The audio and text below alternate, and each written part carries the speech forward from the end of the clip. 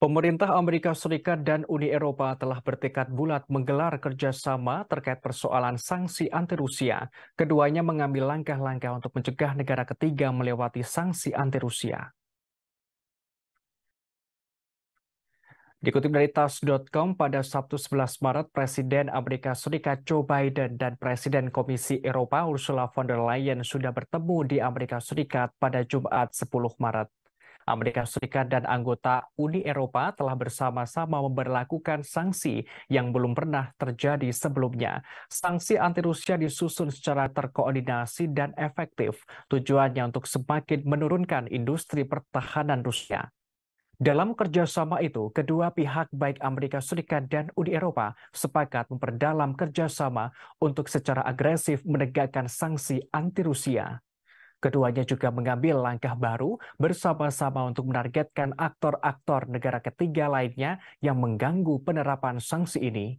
Sebelumnya, Jerman turut memberikan ultimatum kepada China agar tidak memasok senjata ke Rusia. Berlin memperingatkan Beijing untuk tidak ikut campur dalam perang di Ukraina. Dikutip dari tribunnews.com pada Sabtu 11 Maret, hal itu diungkapkan oleh Kanselir Jerman Olaf Scholz selama kunjungan singkatnya ke Washington, Amerika Serikat. Scholz menegaskan jika China nekat membantu Rusia dalam perang Ukraina akan menimbulkan konsekuensi yang seharusnya tidak terjadi.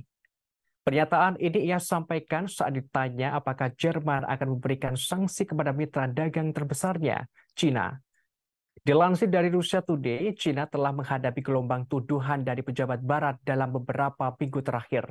Hal ini karena Beijing berpotensi membantu Rusia dengan pemasokan senjata. Namun tuduhan ini tentu saja ditolak China. Perdana Menteri China Li Hengyang menekankan Beijing akan tetap berkomitmen pada kebijakan luar negeri yang independen tentang perdamaian. Namun ia tidak menyebutkan konflik antara Rusia dan Ukraina. Diketahui setelah kembali ke Jerman, Scholz menolak untuk menjawab pertanyaan langsung tentang apakah Presiden Amerika Serikat Joe Biden menunjukkan kepadanya bukti konkret China sedang mempertimbangkan pengiriman senjata ke Rusia. Scholz hanya menerangkan pemerintah China telah menyatakan bahwa mereka tidak akan memberikan apa pun. Diakuinya, hal itu merupakan tuntutan Barat kepada China. Sementara itu, Presiden Komisi Eropa Ursula von der Leyen menjelaskan negara barat saat ini belum memiliki bukti terkait rencana tersebut. Ia memperingatkan bahwa negara barat akan tetap berhati-hati dan mengamati kepatuhan China. Namun dirinya enggan menyampaikan apakah Uni Eropa akan memberikan sanksi kepada China. Reduction Act, and it lies at the heart of the Your Green Deal Industrial Plan, EU. So I hope you talk a little bit about that today.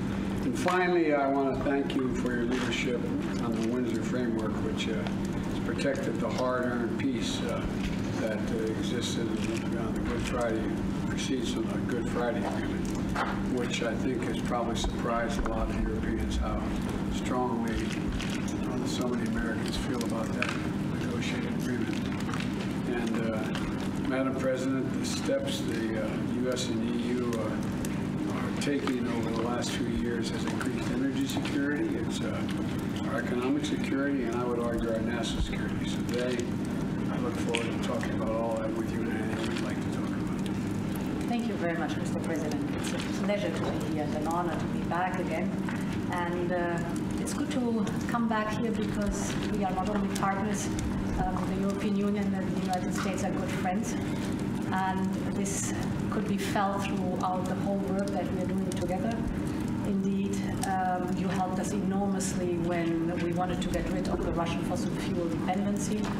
By um, you helped us enormously by delivering more LNG, helped us through the energy crisis. We are, as partners, strongly supporting together Ukraine uh, that fights for freedom and independence. Uh, we're making Russia pay for its atrocious war we're strongly aligned um, defending our values. And indeed today I think we will also discuss the Inflation Reduction Act and I think it's great that there is such a massive investment in green and clean technologies now. Indeed, we want to match it with uh, the Green Deal Industrial Plan. So plenty of topics, topics to discuss together. Thank you very much. Look forward to doing that. Terima kasih sudah nonton. Jangan lupa like, subscribe, dan share ya. you